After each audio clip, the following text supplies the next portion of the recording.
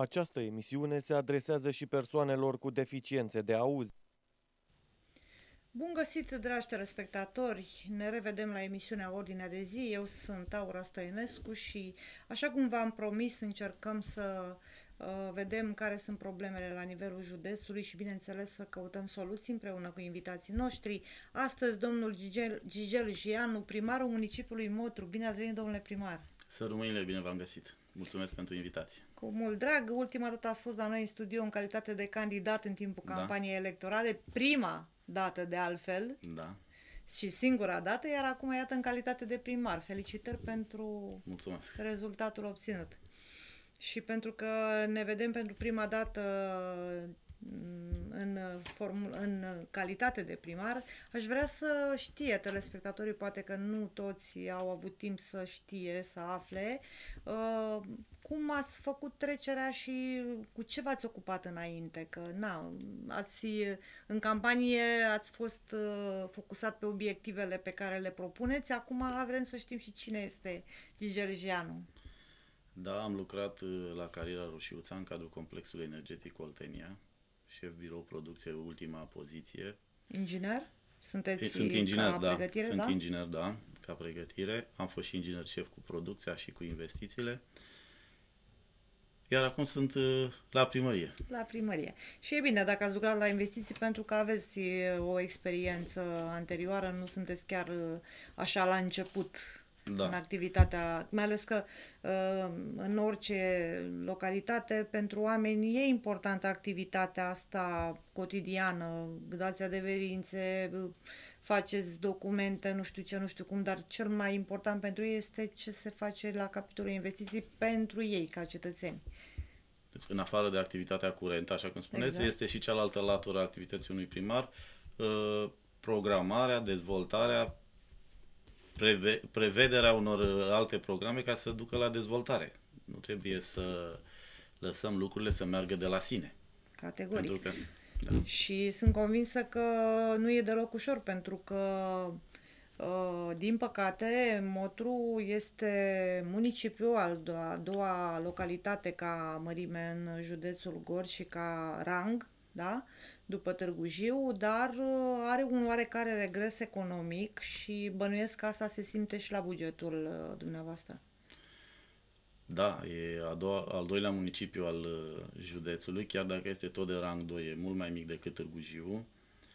Iar uh, în ce privește activitatea economică în zonă, s- este un declin foarte mare. În ultimii ani s-au închis multe unități uh, de producție și s-au pierdut multe locuri de muncă, deci uh, lucrul ăsta se reflectă și în veniturile la bugetul local. Veniturile au scăzut foarte mult în ultimii 5 ani, mai, mai mult de jumătate, avem mai puțin de jumătate din bugetul pe care îl aveam cândva și asta creează probleme chiar foarte mari. Uh, În perioada asta foarte scurtă de la instalare pot să spun că am găsit datorii foarte mari. Avem uh, peste 2 milioane 700 de lei datorie, dintre care uh, aproximativ 900 de mii, 836 de mii de lei sunt arierate.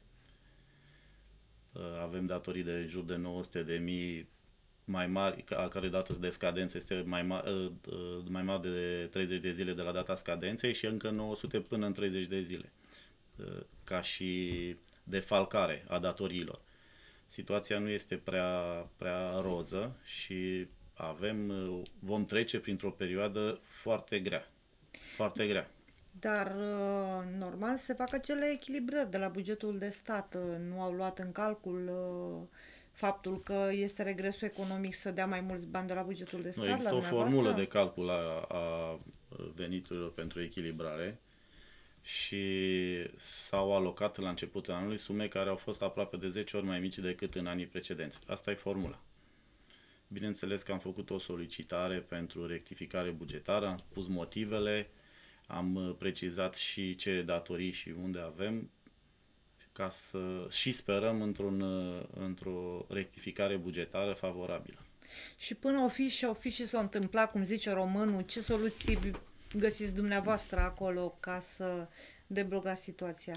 Până o fi și o fi, cum zice românul, Dacă o trebuie da să luăm măsuri, guvernul. măsuri, da, dacă dă uh, stăpânirea, da, uh, luăm măsuri pe plan local. De În exemplu, primul rând reducem cheltuielile, care cheltuielile puteți reduce? care fără pot să... fi reduse, care nu afectează bunul mers și activitatea urbei.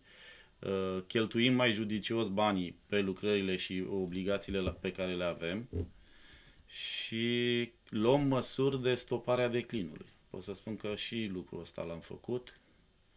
Am avut o întâlnire cu oamenii de afaceri la începutul săptămânii, o întâlnire pe care o văd foarte fructuoasă, o întâlnire care a fost bine primită și chiar apreciată de oamenii de afaceri.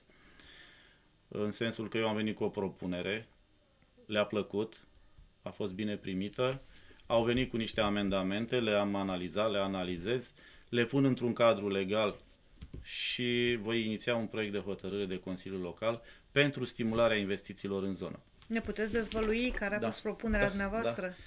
Uh, propunerea mea a fost de reducerea taxelor și impozitelor gradual pentru agenții economici care fac angajări. Și în funcție de noi angajați, există un procent de reducere pentru taxele și impozitele asupra terenurilor și clădirilor în care își desfășoară activitatea noi angajați. Uh, oferta, propunerea mea în ședință a fost pentru 10 angaja, 9 angajați, pentru 50 de 9 angajați și peste 50 de 9 angajați, peste 100. Uh, A avut priză la, la respectivi agenți economici. Bineînțeles că a venit cu propunerea că sunt și oameni de afaceri mai, cu afaceri mai mici și să iau în calcul o reducere și de la un angajat, la 5, Da, la da, păt- da. și pentru mai puțini angajați. A fost foarte bună propunerea pentru că, într-adevăr, trebuie să se dezvolte sau avantaje să aibă și uh, Micii. agen- micii întreprinzători. Corect. Lucrăm la asta. Bineînțeles că aici trebuie să recunosc că n-am știut, nu am uh, avut uh, cunoștință, dar între timp am informat că trebuie să respect și niște reguli impuse de oficiul concurenței, că trebuie să mă încadrez într-o schemă de ajutor de minimis, că așa se interpretează, ca să nu contravenim normelor europene. Mi-am luat toate materiale, toate documentele, chiar și un punct de vedere de la oficiul concurenței am cerut. Da? Da, toate și urmează, acum lucrăm tot cu aparatul de specialitate, cu câțiva oameni din, de ai mei, lucrez la uh, un proiect care să, să nu aibă probleme, să treacă prin Consiliul Local. Și Eu zic că apropo e o de- măsură extraordinar de bună, uh, stimulează activitatea economică, mai ales de producție, stimulează angajările și de la angajări, de la angajați, de la salariu, vin uh, venituri la bugetul local. Automat și găsiți Cresc soluții veniturile pentru la bugetul cetățeni. local. Și în afară de asta uh, se ocupă forța de muncă. Indiferent de numărul de angajați, este orice, orice loc de muncă este benefic. Din toate punctele de vedere. Categoric. Și pentru că vorbeați de Consiliul Local și de propunerea pe care doriți să o înaintați în Consiliul Local, uh, fac precizarea pentru telespectator pentru că nu am făcut această precizare. Dumneavoastră sunteți uh, în Partidul Național Liberal, Da. ați candidat din partea Partidului Național Liberal și aveți o situație deosebită în Consiliul Local acolo, în sensul că uh, dumneavoastră ca partid nu aveți majoritate împreună cu colegii Nu. dumneavoastră, cu aliații dumneavoastră în Consiliu, ci ceilalți, adică PSD-ul și aliații am, am, lor. uh, am câștigat alegerile la primărie, dar suntem în uh, opoziție în Consiliul Local. da. Dar s-a format o majoritate în Consiliul Local, PSD, PSRO, UNPR, ALDE și un independent. Și da, la această dată suntem în opoziție în Consiliul Local. Dar Ca am con- partid. Ca partid. Dar am convingerea că proiectele bune Vor trece. vor trece. Să sperăm. Uh, Da, și chiar Să dacă sperăm. vor fi amendamente, nu vor afecta uh, uh, în mod important proiectele, mai ales că o propunere a mea pentru uh, prima ședință de Consiliul Local este un regulament al de funcționare al Consiliului Local care prevede și înregistrarea ședințelor de Consiliul Local. Înregistrarea video și audio. E o măsură de transparență, o transparență care e benefică. A- Am vorbit despre ea în campanie, o vom mai aplica, bineînțeles. Și cred că atunci când știi că tot orașul e cu ochii pe tine, tot A, deci orașul vezi va... ce transmite. Uh, nu în direct, se va înregistra și apoi se va posta pe site-ul primăriei. A, cel mai Da. bine, da. Am schimbat site-ul primăriei, am venit cu un, uh, un uh, model uh, mai dinamic, mai modern, uh, are și o secțiune video, se vor posta ședințele de Consiliul Local. Foarte bună idee. Am vă- Felicitări. Da, am văzut asta la alte, în alte, la alte orașe în țară și mi-a plăcut pentru că până la urmă noțiunea de majoritate în Consiliu devine un pic uh, nu știu cum Mai se- puțin importantă, importantă, dacă oamenii pentru sunt că cu ochii pe tine. ai tot orașul cu ochii pe tine, uh, vine cineva, nu, nu neapărat primarul să inițieze proiecte de hotărâre de Consiliu, poate un, grup consilier. de un consilier sau un grup de consilieri poate să inițieze și proiectul să fie foarte bun, propunerea să fie foarte bună, să fie bine motivată, justificat și atunci vei răspunde în fața cetățenilor pentru De ce n-ai votul fost de negativ. acord? Pentru Corect. votul negativ. Sau poți să ai argumente care să desfințeze sau să vină în, în favoarea votului tău și să fie bine. Dar numai pe argumente, nu doar pentru că propunerea proiectului este inițiat de De partea partidul cealaltă. concurent. Partea, partea cealaltă, da. Da, foarte bună idee. Felicitări pentru asta. Mulțumesc, sper să treacă. Asta cu înregistratul? Da. A, n-a trecut? Nu, nu, prima ședință. N-am avut decât o ședință de îndată. Am avut o singură ședință de îndată. Și cum a decurs ședința de îndată? Pentru ce ați convocat-o și cum a decurs? Sunt niște proiecte deja întocmite de către aparatul primăriei e, în vederea accesării de fonduri europene pentru unele lucrări din oraș și mă refer aici și la uh, reabilitarea rețele stradale și pietonale pentru zone întinse și uh, cana- realizarea canalizării la sate, mai multe proiecte și sunt vreo două zone în oraș care nu au fost modernizate și pentru care se pot accesa fonduri europene. Un, o condiție pentru eligibilitatea proiectelor înaintate pentru a accesa fonduri europene este uh, realizarea unui plan de mobilitate urbană durabilă. Acest lucru nu a fost prevăzut în program. A trebuit să schimbăm programul, să prindem poziție nouă, să găsim fonduri, să, Să realizați să acest realizăm plan? acest uh, proiect, acest plan. Am considerat-o ca urgență, din moment ce proiectele sunt făcute, au și ele o valabilitate, uh, accesând, uh, uh, urgentând realizarea acestui plan de mobilitate urbană durabilă, uh, urgentăm și întocmirea proiectului de accesare a fondurilor europene. Este vorba de uh, un proiect pentru care partea de cofinanțare de la bugetul local este de 2% și ar fi păcat să pierdem. Clar, mai ales dacă Plus că e stați important. rău cu bugetul, Stăm e nemaipomenit foarte rău cu să puneți bugetul. ar du- fi- doar 2%. Da, pentru o sumă mare înseamnă, pentru un proiect mare înseamnă destul de mult, dar e totuși 2%, nu mai Dar nu mult. trebuie să puneți diferența. Nu mai mult, nu mai mult de 2% partea de Aia e. cofinanțare și uh, da, aici a fost un pic de, ca să-i zic așa, arătat mușchii. Eu am venit, am propus proiectul, bineînțeles că a trecut, nu s-au opus, dar cu un amendament, au redus din sumă. Fără să justifice de Suma ce. pentru ce? Pentru Valoarea realizarea proiectului, proiectului. proiectului, da. Și fără să justifice pentru ce, doar că e mare, o votăm mai mică. Un Mai amendament. tăiem un pic din Da. sumă. Deci aici a fost un Dar nu pic trebuie așa. să scoateți, adică ba- valoarea bănuiesc că e destul de mare, trebuie scoasă pe seam, nu? Da, va fi pe seap, da, sigur. Și atunci se stabilește Se- suma finală. Bineînțeles, era orientativă, era similară unui alt proiect realizat în altă parte.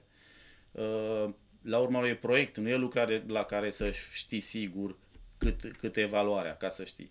Și valoarea era maximă. Nu se putea depăși. Proiectul uh, prin licitație, Scade câștigătorul putea să fie mult mai puțin, valoarea. dar nu riscai să, să nu te încadrezi și să nu ia nimeni. Da, corect. Și atunci noi am votat pentru proiectul inițiat de mine, opoziția a votat împotrivă, Și cât la au sută? venit cu, medica, cu amendament, amendamentul. cu amendament, au votat amendamentul, noi n-am votat, mă rog, asta așa, Și a un, ieșit un că joc ai- La ieftin întrebare, cât la sută din uh, valoare au redus? de la 60.000 la 50.000. La 20-25%, cam așa. Da. Vedem, dacă nu găsiți pe nimeni să facă lucrarea, atunci înseamnă Atunci că e au bai, greșit. atunci e bai, Da. atunci va fi bai. Pentru că oricum nu, dacă piața decide prețul. Piața decide în situații din astea. Când ai un proiect deja făcut, îi știi valoarea rezultată din proiect, îi vii cu licitația exact pe valoarea proiectată. Corect. Ei, iată un exercițiu de mm, democrație, să zicem, felul în care s-a votat la dumneavoastră acolo. Democrație. Și tot dumnealor, Da, democrație, da, da, da, da. așa au ales uh, oamenii Da, un, alt, uh, un alt proiect reprezentanții în important, Consiliu. un alt proiect important pe care îl voi înainta în uh, Consiliul Local este realizarea unui audit extern. Consider că se impune pentru că există și niște măsuri ale Curții de Conturi, unele au fost contestate în instanță, uh, s- pentru o parte s-a respins, acțiunea pentru unele nu, uh, a rămas valabilă. Problemele pe care le-am găsit, zic eu că sunt uh, generate, trebuie să vedem starea de la care plecăm, situația la care Corect. ne aflăm. Este un moment zero, este un mandat nou, nu e o prelungire, nu, nu, nu am mai avut, uh, n-am mai fost primar. Corect. E un mandat nou pentru mine, e un alt primar. Și se impune uh, realizarea unui, unui audit extern, Ca un fel de pre- predare de gestiune. predare de, predare de gestiune și, Și de e și, corect și să o patrimoniu. faceți. Și e, trebuie să știm de la ce plecăm. Consider că e un moment zero, un moment care trebuie să, să aibă la bază ceva. Să vedem de la ce plecăm. Și mai departe uh, vorbim despre realizări. Pentru că dacă nu facem lucrul ăsta, se lasă loc de interpretări. A fost așa, n-a fost așa, nu e... Nu, Greaua a- moștenire, Da. vedem cât de grea. nici eu nu pot să vorbesc despre greaua moștenire dacă nu e. Da? da dacă nu e grea, Sau dacă auditul e spune, cât de grea e. Sau dacă e, știm cât de grea e și dacă am făcut tot posibilul sau ce puteam să fac să ieșim din situație, asta e. Deci se impune. Și iarăși vom vedea uh, jocul democratic din uh, Consiliul Local privind uh, votul acestor două proiecte importante, zic eu, care vor sta Dacă la vor fi de baza acord cu au- auditul. cu auditul și cu înregistrarea ședințelor de Consiliul Local. Și dacă nu vor fi de acord, haideți să presupunem ce veți face. Puneți afișe prin motru să știe lumea. Nu știu ce... vo- Că n-au fost de oricum, acord. oricum pe site-ul primăriei se vor posta uh, ședință, uh, ordinea de zi, proiectele propuse, Proiectele cine le-a propus propuse și cum... și cine, uh, dacă au trecut și cine a votat da? pentru și cine a votat împotrivă. Individual, adică Da, se va treceți pune. cu nume, cine c- cum a Da, votat. da, da, da, Da? Am promis uh, transparență, va fi transparență. Lucrăm la site-ul primăriei, am spus eu, avem un site nou, e modern, e dinamic, uh, e în construcție, e în construcție, dar uh, din punct de vedere al transparenței, uh, are, transparența are prioritate. Foarte bine, e un lucru bun. Ne- Mă obligă și pe mine, vedem și pe ceilalți. Uh, mai multe puteți afla despre trecutul uh, activității din primărie de la domnul viceprimar, care este domnul Cosmin Moregaș și a lucrat la... La Serviciu- direcția publică. Direcția publică. Direcția publică. Cum vă înțelegeți cu domnul viceprimar, mai ales că ați fost contracandidați, dânsul la PSD, acum uh, e președinte de organizație Uh, la Motru? Cred, nu știu Dânsul? dacă, nu cred că au avut alegeri, nu, știu, nu, nu, a avut, Nu nu, a știu. fost numit, încă e domnul Hanu. Probabil că va fi A, domnul e Morega. domnul Han. E, Oricum, dânsul a câștigat, uh, n-a câștigat, a câștigat majoritatea în Consiliul Local, a fost numit uh, viceprimar, a fost ales, de fapt, viceprimar de colegii consilierii.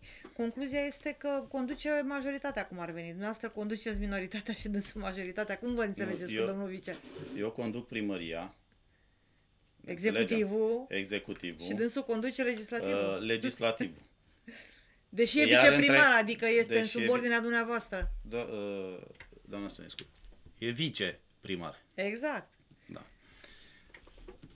Colaborăm, vom colabora bine, sunt convins. Da. Uh, La acest moment, uh, cred că nu se obișnuiește cu ideea că a pierdut alegerile, cred Încă eu. nu. Da, pentru că erau atât de convins că le va câștiga, probabil și făcuse și o orientare, un plan, că se simte cumva, mai ales în afara programului. Da. Pe rețele, pe în alte declarații. Nu, la serviciu nu, suntem uh, și lucrăm bine. Dar Aceea în afara este- programului Păi se da, da, vede acolo că, e politician. că a pierdut, uh, că nu se, nu se obișnuiește cu ideea că a pierdut alegerile. Și că nu e dânsul primar. Da. Dar nimic, o La, să la obișnuiesc. alegerii de acest gen, Nu e ca la un concurs de pictură de, sau de fotbal sau locul 1, 2, 3. Nu. Aici în politică nu-i decât Da un sau nu. loc. Da sau nu. Câștigător și perdant, atât. Uh, Mi-amintesc acum uh, de o localitate Tismana. Tismana era primar uh, domnul Buzianu la un moment dat, de la PD era dânsul și era viceprimar, uh, actualul primar, domnul Slivilescu, de la PSD. Uh, Acolo era practic invers. Și ce credeți că a făcut domnul Buzianu? Nu i-a dat nimic de lucru domnului uh, viceprimar, pentru că viceprimarul trebuie să execute ceea ce îi deleagă ca activități primarul. Dumneavoastră i-ați Da. dat de lucru domnului viceprimar? Uh, Și îl întrebam pe domnul, uh, cu ce vă ocupați? Cu nimic. Păi cum, domnul vice? Chiar nimic. Nimic. Păi și de ce veniți la serviciu? Nu știu. sunt, N-avea nicio delegație, n-avea voie să facă nimic. sunt în perioada de evaluare a tuturor, Așa. inclusiv uh, a viceprimarului și în funcție de concluziile pe care le trag, încrederea pe care o am în toată lumea, în oricine, urmează și sarcinile de serviciu. Deocamdată a- avem două săptămâni de când ne-am instalat, cred Așa. că ieri, ieri s-au făcut două săptămâni. Mi-am făcut o idee cât de mult poți să ai încredere ca să delegi anumite atribuții și care atribuții și în funcție de asta, în următoarea perioadă, uh, vor fi și aceste atribuții. Încă nu am făcut acest lucru, am 30 de zile la dispoziție, da? da? Mhm. Să- Dacă și chiar astăzi am văzut niște facturi, niște uh, recepții de lucrări, un mod de lucru care mie nu-mi place. Am avut niște discuții pe marginea asta și e, e, e un alt mod de a-mi face o părere despre seriozitatea, ca să zic, în a trata problemele. Pentru că un uh, primar, un șef de instituție, un primar, cum e cazul nostru, Ordonator de credite. ordonator de credite, sunt foarte multe de lucru, sunt foarte multe lucruri de făcut, sunt foarte multe direcții în care trebuie să acționeze și trebuie neapărat să ai încredere în cei care vor executa în locul tău sau pentru tine. Ori Și eventual orice, trebuie și verificați. orice semnal prin verificări, prin controle, că nu-ți trezește încredere, te face să nu-i, să nu-i delegi anumite sarcini cuiva. Sau să evaluezi și în perioada următoare să îți dorești să nu lucrezi cu anumite persoane. Dacă nu ai încredere, nu lucrează cum trebuie, se dovedește că e greșit ceea ce a făcut, Sau că cu e rea eronat, credință. sau că e rea credință și mai grav, uh, te face să nu lucrezi cu ei. Legea funcționarului public protejează angajații funcționarii publici, dar nu îi apără uh, dacă dovedesc incompetență, rea credință sau altceva. Să sperăm că nu va fi cazul. Să sperăm că nu va fi cazul. Avem un mesaj de la telespectator. Ce faceți cu ATA, domnule primar? Ce faceți cu ATA, domnule primar? Ce aveți de gând? Că nu așa în câteva zile puteți să rezolvați problema nu UATA. se rezolvă în câteva zile, sunt niște măsuri care au început mai de mult, nu, mi se, nu am un merit, se va schimba un cazan, cazanul mic, Uh, au început procedurile, sunt uh, fonduri guvernamentale pentru așa Da? ceva, pentru, și se vor elimina pierderile, pentru că uh, acest cazan cu care funcționăm acum, cazanul mic, uh, produce pierderi pe perioada de vară, vreo șapte luni pe an. De ce produce? Pentru că așa a fost dimensionat construit să producă 10 giga pe, pe oră și capacitatea orașului de, maxim, de absorpție a orașului de maxim 3 giga. Restul fiind pierderi, pentru că așa e orașul mic și încă se mai... Și ce furnizează apă caldă? Agent termic, da. Agent Apă caldă. apă caldă în apă vară. caldă. și- Iar iarna, cazanul mare, căldură și apă caldă. Și și atunci sunt pierderi Nu, sau numai nu, în nu, vară? atunci, atunci intră pe profit, pentru că mai au și un generator, avem un generator pro- și funcționează în cogenerare. Și sunt câteva miliarde pe care... Produc le... energie? Da. UATA. OATA are un generator Ia și uitați. funcționează în cogenerare. Și pe lângă banii pe care îi primesc pentru energia pe care o pulsează în sistem, uh, sunt și niște bonificații pentru, pentru că funcționăm în, uh, în cogenerare. Uh, Spunea cineva că UATA nu mai are nicio șansă și trebuie demolată și Nu. construită alta. Dumneavoastră ce spuneți? Mm, Nu. o centrală nouă ar fi ideal, dar presupune investiție mare. În situația actuală nu știu dacă se mai poate face acest lucru. Trebuie doar să o modernizăm pe aceasta, să o întreținem și să o păstrăm pe, pe, pe asta pe care o avem. Cazanul, noul cazan va fi funcțional la, în vara următoare, iar cazanul de iarnă, cazanul mare, care funcționează, nu, nu sunt probleme. Probleme sunt uh, cu conformarea depozitului de cenușă, pentru că era un termen, dar s-a decalat și acest termen până în 2020, pentru conformarea din punct de vedere a normelor Uniunii Europene, astfel că deocamdată nu se pune problema închiderii uzinei. Principala este... problemă era, o reprezintă datoriile pe care cetățenii locuitorii orașului au la plata serviciilor și conformarea din punct de vedere al mediului. Uh, cui aparține OATA? Ca cine e proprietar? Primăria Motru. Da? Da. Și nu v-ați gândit să o transformați în termocentrală, să produceți un pic mai multă energie, să faceți niște bani mai mulți și să dați de lucru la Roșuța și la Lupoaia, că tot vor unii să le închidă? E o idee veche, to- toți de cursul timpului au încercat. Pentru că acum au... e centrală electrică de termoficare, au, da. să o transformați în termocentrală. Uh, Oricum va da și Au promis, căldură. au promis, n-au reușit, la cum se pune acum problema, deci este ideal, ar fi frumos.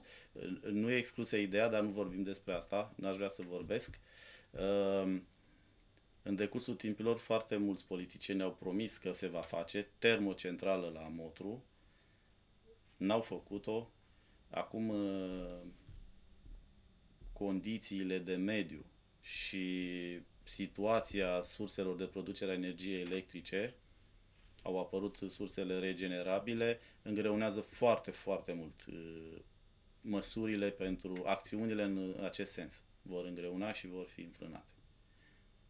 Pentru da, că au apărut surse, sunt mari. Surs, investiția e foarte mare, Uh, sursele de energie din surse alternative sunt destul de multe, se dezvoltă, condiții de mediu și impuse și de Uniunea Europeană uh, restricționează foarte mult acțiuni de acest fel. Atunci, pe haldele de steril, că tot n-ați reușit să le redați agriculturii, faceți niște câmpuri de panouri solare și produceți energie. Nu primăria face, doar dacă și haldele sunt ale complexului, nu. Da, da, da. Nu știu ce va fi. Probabil că o soluție va fi și asta. Dar, păi dacă tot e încurajată energia verde, hai să mergem și Da, și energia verde e încurajată, dar nu, nu asigură stabilitatea sistemului, nu asigură Corect. continuitate, Corect. e nevoie și de energie de pe rezerva... cărbune. Sunt zbu- există un zbucium acum, sunt niște analize în interiorul complexului energetic Oltenia sau la nivel uh, național privind uh, importanța energiei produse pe cărbune, cantitatea de energie necesară pentru a, a, a realiza acest echilibru, stabilitatea sistemului energetic național, independența energetică, pentru că se știe că energia produsă pe cărbune este, poate fi continuă, constantă, indiferent, nu depinde de condițiile de mediu, de, de ploaie, de vânt, de soare, uh, pe când celelalte depind. Da, și corect. hidro de nivelul apelor, dacă e secetă, nu mai, uh, nu mai pot, pot produce, eolienele dacă nu bate vântul și atunci ce trebuie Rezerva să existe un factor este... de, de echilibru în sistem. Aș vrea să vă întreb, sunteți inginer, veniți din, uh, din uh, minerit și știu că acolo e o oarecare militarie, așa că altfel n-ar merge, nu s-ar învârti rotorul marelui excavator ăla de 2000 dacă n-ar fi un pic de militarie și n-ar face toată lumea ceea ce trebuie ca ceasul. Vă întreb, la militarie aplicați chestia asta? Că, de exemplu, am întâlnit ingineri minieri care au plecat din minerit și au, au ajuns primari și care, tată, dimineața cu agenda operativă, da. Faceți asta? Operative avem, uh, cu agenda și cu... Uh, da, sunt. Uh, sunt mai puțini oameni aici față de ce aveam în minerit. Câți aveți în subordine în minerit? În funcție de, de funcția pe care am avut-o. Când Să eram inginer șef, o mie și o mie, când era șef de sector câteva sute. A, ingi- deci la primărie birou pentru doar... asta e așa, o jucărie. Câți angajați aveți? 180. Ah, ce să mai Simplu. Uh, nu plecăm de la premiza că trebuie militarie. Nu sunt oamenii ca să Nu, faci organizare. milita- organizare și coordonare. Că Atât. știți cum e ca forțele alea, zice că dacă uh, trag una așa, una așa, una așa, una așa, stă primăria pe loc. Stă dacă primăria trag pe- toate încolo, Sunt, e ok. uh, sunt uh, și aici sunt uh, forțe care nu Forțe. trag în aceeași direcție, nici măcar nu colaborează bine. Da? Și aici intervine rolul meu în a-i coagula, în a-i face să colaboreze și să tragă în aceeași direcție. dar de ce se întâmplă treaba asta? Bă, De ce trag în uh, am, direcții diferite, adică în sensuri diferite? am Pentru că o idee. interesul ar trebui să fie comun, să meargă treaba ca să aibă și ei un serviciu. Zic. Sunt difer- diferite motive de nemulțumire ale unora, s-au eliberat acum de că s-a schimbat primarul, probabil încearcă cu noul primar, nu înseamnă că mă las dus sau nu văd. Eu uh, îi evaluez pe fiecare și când va fi momentul uh, încerc să-i coagulez, pentru că în minerit, cum spuneați acolo unde e militarie, aveam un șef foarte dur și la un moment dat îi zic totuși n-ați dat nicio sancțiune, n-ați sancționat pe nimeni, n-ați dat... Ce nu, nu sancționezi omul decât când nu ai ce face cu el, când nu poți să scoți nimic de la el. Și a fost o... o... mi-a plăcut și de la, din momentul ăsta, am- din momentul acela am aplicat același uh, principiu. Și așa va fi și aici. Indiferent ce gândesc, indiferent ce uh, poate unii răspund altor uh, solicitări sau au nemulțumirile lor, uh, sunt afectați de faptul că s-a schimbat ceva pe aici, am o mare toleranță. Foarte mare toleranță. Dar cât de mare e, până la urmă e limitată. Deci, uh, te Ce nu înțeleg. acceptați, de exemplu, de la angajații primăriei? Ca să știe, dragi angajații ai primăriei Modru, atenție! Aveți grijă ce spune acum domnul primar. Până unde merge toleranța? Adică ce nu acceptați sub nicio formă? Neimplicarea. Odată, Deci neimplicarea, uh, nepăsarea, așa, ceva de, de genul ăsta. Deci trebuie să meargă în Sabotajul? aceeași direcție. Sabotajul, Sabotajul. și... Da, ăla e jale. sună dur, dar Dacă, cred dacă că, prindeți cred un că sabotaj, ne-ați- sancționați? Foarte dur. Clar, nu? Da, foarte, foarte dur pentru el. Va fi foarte dur. De asta zic că am o mare toleranță. Uh, Pentru dau, greșeală, credit, dau, pentru- credit, dau credit tuturor, dar în același timp suspectez pe toată lumea. Da. Și când sunt convins că lucrurile merg cum trebuie, atunci vor avea mult credit. Partea de suspiciune va fi mai mică. Dar, în primul rând, în momentul de față, suntem la început și exact asta se întâmplă. Le dau și credit tutu- tuturor, dar uh, și suspiciunea mea e pentru fiecare. Până vă lămuriți Și asupra Până mă lor. lămuresc și Îi cred că testați? principala grijă e să, să dovedească uh, să-mi dovedească merită încredere. Deci buna credință. Buna credință e, e atât. Buna credință. Că de greșit mai greșește omul, se Greșești repară, când nu muncești, știu ce, greșești, corect. pot să-mi dau seama dacă cineva greșește că a muncit sau uh, greșește ca să încurce. O face într-un în mod intenționat. Aveți și atunci, experiență da. cu oamenii. Avem o întrebare. Ce facem cu Casa de Cultură, domnule primar? Casa de Cultură am un, un, un proiect pentru reabilitare Nu are și voie mo- să funcționeze acum, nu? Nu, nu îndeplinește condițiile ISU și nu are voie să funcționeze. Nu, a, nu putem desfășura niciun fel de activitate în interior. Și, După ce a fost reabilitată. da, Doar că a nu fost îndeplinea reabilitată- condițiile ISU. Nu îndeplinește. După evenimentele din uh, De la noiembrie, colectiv, de la București, din, de la clubul colectiv, uh, a fost, i s-a interzis activitatea în uh, interiorul Ca și la Casa de Cultură din Târgu Jiu. Ce ne mirăm. Da. Singura care este autorizată în momentul ăsta să funcționeze este Mătăsari. Da, Construcție nouă, da. Întâmplător au făcut-o potrivit legii. Când au construit-o, e construcție nouă. Și Casa de Cultură de la Motru, a sindicatelor de la Motru, a fost uh, construită conform legii, dar uh, la momentul respectiv uh, îndeplinea toate condițiile. Erau alte s-au legi. Mai, erau alte legi, da. Acum uh, s-au schimbat lucrurile și va trebui să, o- să respectăm și noi uh, normele ISU și vom accesa fonduri pentru reabilitare și modernizare. Avem mare nevoie de Casa de Cultură, atât pentru sala de spectacole, pentru proiecții, de filme. Pentru celelalte săli pe care le avem în interior și care pot avea de, diferite destinații, e o sală de ședințe foarte mare în care încap foarte mulți și cum am avut întâlnirea cu oameni de afaceri unde au fost în jur de 70 și cu eu cu aparatul încă vreo 10, uh, a prins foarte bine. Uh, mai sunt și alte încăperi, pot, uh, avem nevoie de, de, de Casa de Cultură pentru, și pentru cluburi, clubul pensionarilor, pentru că au un club, un sediu foarte mic și nu pot să-și desfășoare activitățile și vor avea nevoie de un spațiu mai mare. Uh, și diverse, diverse. Da, ce sunt... șanse sunt? Adică sunt uh, acum proiecte, sunt uh, linii de finanțare pentru așa ceva? Sau vă gândiți totuși la bugetul local? Nu, la bugetul local sunt mai prea mare și cum stăm cu bugetul local în acest moment, nu, nu, nu întrevăd nu nicio, nicio șansă să, să Dar reabilităm. Ce trebuie făcut efectiv la ea ca să îndepliniți normele ISU? În primul rând, materialele din interior să, fie, să nu fie ușor inflamabile. Aha, nu adică neapărat trebuie să schimbați tot? Cam tot.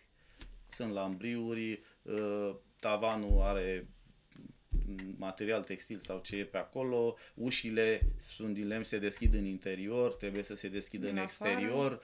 Uh, mai multe măsuri lăsate de ISU, dar astea sunt cele mai importante. Bun, dar vin eu acum și întreb în momentul în care s-a făcut reabilitarea, uh, nu trebuiau uh, să ceară și niște autorizări de la ISU pentru materialele care le foloseau? Nu pot să spun. Oricum, reabilitarea s-a făcut în urmă cu mai mulți ani.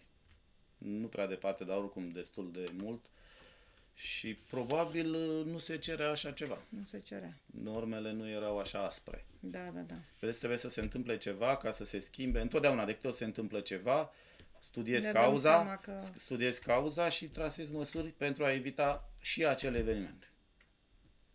E păcat că unele, unele măsuri uh, apar în urma unor evenimente. Din păcate, da. da. Și atunci, până una alta, unde desfășurați activități culturale, celelalte care s-ar putea, care, mă rog, ar trebui să se desfășoare? În aer liber, unde? În aer liber când permite, Acum? chiar în fața casei de cultură, dar în afară. Uh, avem casa multiculturală din parc, da. dar spațiile sunt Spații mici, mic, da. foarte mici. Acolo avem și sala de ședințe da, pentru Consiliul Local. Uh, în, uh, la Clubul Elevilor mai e un spațiu a fost o expoziție de arte mici, pictură și arte mici și am fost găzduiți atât în hol la intrare la Casa de Cultură, cât și la, în, în interiorul Catedralei Ortodoxe. Da? da? Chiar am văzut, da. Da. A fost uh, foarte frumos. Comandantul poliției care uh, are o pasiune pentru artele uh, mici și a fost principalul organizator și a fost o manifestare foarte reușită vom continua. Dar să sperăm că reușiți să găsiți și fonduri ca să reabilitați uh, Casa de Cultură. Vreau să vă întreb, mai sunt câteva minute din emisiune și e foarte important uh, ce vreau să vă întreb acum. Este situația asta în motu a terenurilor uh, expropriate, a caselor crăpate din cauza transportului de cărbune în zona a, nu, cred, ba da, nu, nu aveți, la Cătunele la e Cătune, situația da. de acolo, dar aveți hal de bănuiesc că aveți pe teritoriul orașului. Pe teritoriul unității administrativ teritoriale, da. Și oameni nemulțumiți că n-au primit nici hal, dar uh, re, cum se cheamă, redat în uh, circuitul agricol. Uh, ce faceți cu, cum stați cu titlurile de proprietate? Ați ajuns la punctul ăsta să aflați cât la sută s-au dat? Din... Sunt probleme cu eliberarea titlurilor de proprietate, cu întocmirea documentațiilor pentru că, vedeți, activitățile economice din ultima perioadă, din ultimii ani, mulți ani, uh, au dus la apariția unor, uh, așa cum a spus, halde, a unor construcții industriale, construcții de o anumită importanță și redarea... Defrișări de păduri pe acolo, pe Bujorăscu, din cauza de extindere de carieră. Achiziții de terenuri, să spunem, pe, de pe care s-au dezvoltat la... activități, s-a transformat din punct de vedere morfologic uh, aspectul uh, uh, uh, suprafața, uh, anumite suprafețe. Halda rogoaze care a alunecat. Da. Dar nu astea sunt Mulți ani probleme, în nu, nu urmă. sunt probleme. Probleme sunt acolo unde uh, se găsesc încă obiective de importanță, acolo unde încă funcționează cariera, acolo unde uh, se găsesc construcții importante și oamenii vor reconstituirea dreptului de proprietate pe vechiul amplasament. Nu sunt suprafețe, nu avem ca să dăm din fond din alt, pe un alt amplasament, nu, acce- nu ne permitem sau nu putem să facem alte despăgubiri și atunci se mai îngreunează, căutăm soluții, negocieri. Și mai e o zonă nevralgică acolo la dumneavoastră, nu mi-amintesc acum cum se cheamă, știu că era cariera Roșuța încurcată de câteva familii, dar nu mi-amintesc cartierul, undeva, chiar lângă excavator acolo câteva căsuțe, niște familii care nu vreau nici să se mute, nici să nu acceptau prețurile, se mergea pe varianta de, nu, nu mi-amintesc cum se cheamă, deci pe lângă Strivilești pe acolo undeva, În Știucani, știu că ani, Știucani au fost Care e probleme, situația de la dar Știucani? s-a rezolvat, s-au rezolvat din Da? 2011 problemele, da. Au fost rămutați, toți? da. Sunt Toți în care- urmă cu știrile. Da, păi nu, să- că erau câteva familii. Câteva, câteva familii, Știu da. că am fost acolo să filmăm și era să ne luăm bătaie. Da, da. De uh, la nu s-au- familiile cu pricina că cine v-a trimis, mă, ia ziceți voi. Uh, Da, e vorba de Știucan, s-au rezolvat încă din 2011 tot ce prezenta interes pentru carieră. Cariera și-a dezvoltat activitatea în zonă, s-a și retras, deci nu, nu mai sunt probleme din Nu mai punctul ăsta de vedere.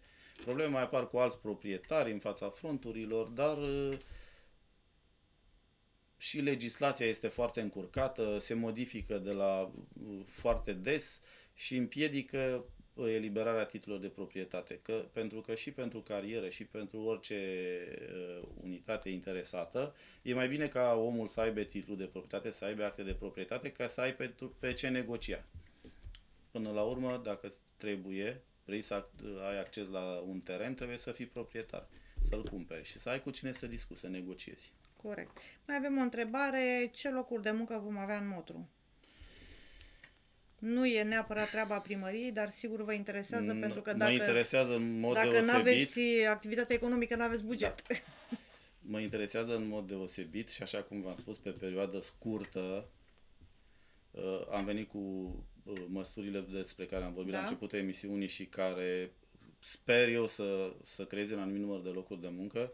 Unul din oamenii de afaceri din zonă chiar a anunțat în timpul ședinței că are nevoie de, va face șapte angajări Ia. are nevoie de, de șapte persoane și că preferă, deci un lucru foarte bun, să angajeze din cei care au ajutor social, care primesc ajutor social de la primărie. Și vă degrevează de niște costuri. ne degrevează de costuri. Am apreciat foarte mult uh, lucrul ăsta, așa cum vorbeam pe perioadă scurtă. Un alt uh, investitor și-a manifestat intenția să construiască ceva și deja l-am, a venit pentru autorizații, pentru tot ce îi trebuie uh, și va deschide o unitate de producție în zonă. Ce producție? Uh, nu știu exact, nu pot să spun acum, dar uh, Și câte locuri de muncă prevede că va crea? cel puțin 100. Da? Da. Foarte bine. Și Sprijinul pe care, mă- la oferta pe care am avut-o pentru mediul de afaceri, sunt convins că va mai uh, stimula crearea de locuri de muncă, iar pe termen lung vizez înființarea unui parc industrial, un parc, o zonă care oferă foarte multe avantaje investitorilor și care va duce la o dezvoltare rapidă Unde? în zona fostei baze de aprovizionare. Este terenul la care m-am gândit, care îndeplinește toate condițiile, este cel mai facil pentru a înființa un parc industrial, pentru că sunt și niște condiții să înființezi un parc industrial, printre care utilitățile să le ai acolo și dacă vom înființa acolo, uh, vom cheltui foarte puțin cu utilitățile, pentru că sunt deja acolo apă, canalizare, energie electrică și gaz. Uh, Terenul nu ne aparține și urmează să-l solicităm de la complex. Unele discuții le-am avut, vom mai avea. Modalitatea prin care îl vom obține o vom vedea, pentru că și aici sunt mici probleme. S-au mai eliberat și titluri, mai sunt proprietari în zonă, dar am zis că ăsta e un lucru foarte bun, mai bun decât uh, să nu fie, Corect. pentru că ai cu cine discuta, ai cu cine negocia ceva și mm, nu știu ce termen să dau, dar într-un, în perioada următoare vom reuși să obținem și în uh, cel târziu la sfârșitul mandatului vom avea un parc industrial. Parcul industrial în care investitorii au foarte multe avantaje și care stimulează activitatea economică de producție, deci și locuri de muncă și implicit venituri la bugetul local. Să sperăm că va fi așa, pentru că, de exemplu, la Bumbejiu este un parc industrial și n-am simțit așa nicio revigorare a orașului Bumbejiu, pentru că există acolo un parc industrial și are ceva vechime acel parc Depinde industrial. și, și cum este administrat. Acum nu știu cine îl administrează. Consiliul sau- Județean. Va are o persoană desemnată. Da, este o Uh, persoană. cum îți dai interesul? Ac- Nu știu cât de, dar uh, serios sunt, dar deja am fost contactat, cineva m-a sunat că e de în zonă și ar vrea să f- fac o investiție în zonă, zice ce mi oferiți? Păi mai încolo un pic, că n-am nimic. N-am mare lucru, nu se pretează la ce îmi solicita. Uh, intenționez să solicit de la complex și sediile a două mine care au fost închise. Sunt sedii goale, părăsite, Roșiuța și Horăști. Sedii de Roșiuța. A, Mina MCU, Roș- unde era MCU? Mina Roșiuța. Mina nu e MCU, e în Roșiuța? oraș. Mina Roșiuța, e aproape de carieră pe acolo, sediu. Deci nu unde este sediul carierei. Nu unde e sediu carierei, puțin Mina spre Târgu Jiu. de subteran. Subteranul, da. A, avea sediu separat. Avea sediu separat, un sediu nou, uh, nu mai este folosit. Pentru sediile astea, complexul plătește taxe și impozite, asigură și pază la Roșiuța, că fiind un sediu nou a fost folosit foarte puțin de la darea în folosință și s-a închis mina și se pretează un anumit, unor anumite, anumitor activități economice și intenționez să-l solicit. Modalitatea o vom vedea în funcție de, de modul în care uh, receptează sau uh, înțeleg uh, cei din uh, adunarea generaționalilor din de la complex. Mai avem doar un minut, aș vrea să vă mai întreb despre incubatorul de afaceri. Leurda. Ce mai face? Câți pui a mai scos de la Leurda, da? Da, sunt câteva firme mici care funcționează în, uh, în Dar e centrul destul de de, mare afaceri. clădirea aia. E aproape standard, de sediu de mină. Sunt uh, Și? standard, sunt același tipic. Uh, Unde doar au răsturnat minerii, mașina cu pâine doar în curte. la doar Uh, vorbim de altă perioadă. Da. Uh, Uh, mă așteptam să aibă forță. Sunt câțiva ani buni, buni de când s-a înființat și n-am prea auzit de... Are un alt Ceva regim, deosebit acolo. are un alt regim de funcționare, nu ca într-un parc industrial. Uh, și uh, sunt câteva firme mici care lucrează acolo, doar parterul este ocupat, restul este, este închis, îl oferim, dar uh, condițiile nu sunt chiar așa, trebuie să plătească și o chirie. Uh, tre- uh, contractele pentru chirie se fac anual și sunt multe societăți comerciale care uh, pentru a se dezvolta au nevoie de credit. Ca să acceseze credit tre- trebuie să facă dovada proprietății spațiului, că e în concesiune, că e în, cumva pe termen Închiriat, mai da. lung, pe, pentru că banca nu-i dă decât pe perioada pe care are uh, Spațiul. spațiul, sigur pe spațiu și cred că din cauza asta nu merge prea bine. Să sperăm Vo- că găsiți și, soluții. și, în, și mă gândeam la soluții și în sensul ăsta, dar trebuie să luăm legătura cu ministerul. Sunt mai multe, dar uh, și acolo îl avem în vedere pentru, pentru a veni întâmpinarea celor care vor să investească. Am înțeles. Domnule primar, timpul s-a scurs clepsidra, spune cuvântul, dar sigur ne vom mai vedea și o să venim și la Motru să vedem la fața Aștept. locului ce se întâmplă. Mulțumesc pentru prezența în Și eu emisiune. vă mulțumesc să rămâine. Dragi telespectatori, mulțumim pentru atenție. La revedere!